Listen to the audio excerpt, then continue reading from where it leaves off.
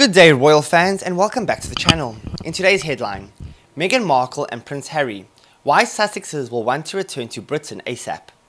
Meghan Markle and Prince Harry have been enjoying downtime in Canada with their son Archie Harrison.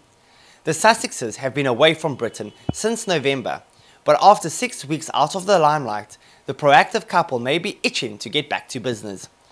According to reports, the Duke and Duchess of Sussex have been busy planning the official launch of their charitable foundation, Sussex Royal, which they hope to make into a global brand. Meghan and Prince Harry severed ties with Prince William and Kate, Duchess of Cambridge's Royal Foundation last year, in order to pursue their own solo project. While Meghan and Harry have remained relatively quiet over the Christmas period, Prince William took the opportunity to launch a huge project on New Year's Eve.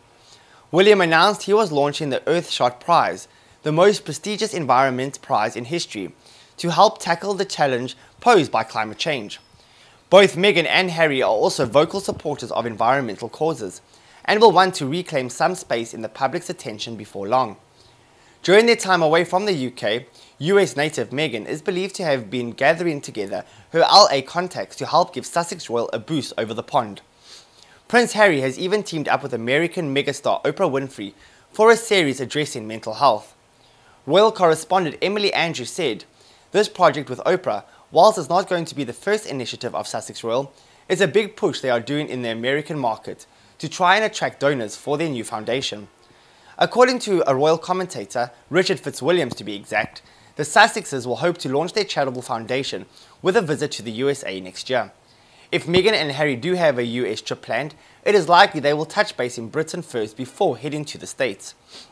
They have been away from their Windsor home for more than a month, and returning to the UK would give them a chance to reconnect with the British base before embarking on a busy year.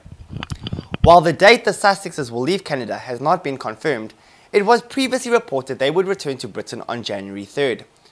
During their trip to Africa in September, Meghan and Harry admitted to struggling in the royal limelight. This prompted speculation they could leave Britain long term and may consider setting up base in Meghan's hometown, Los Angeles. Meghan's mother, Doria Ragland, is based in LA and has been spending Christmas with them. Miss Andrews added, We know Doria and Meghan are very close. Doria has been a very special and intrinsic part of Archie's life, and it would make sense if they bought some place out in LA. Somewhere where they could go for holidays, school holidays, and Doria could stay too. Alright guys, that's it for today. Thanks so much for watching. Like, comment, subscribe. See you next time. Goodbye for now.